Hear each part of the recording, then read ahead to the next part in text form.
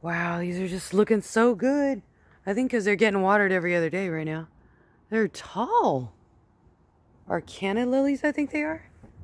I'll have to look that up. Let me know what you think these are in the comments.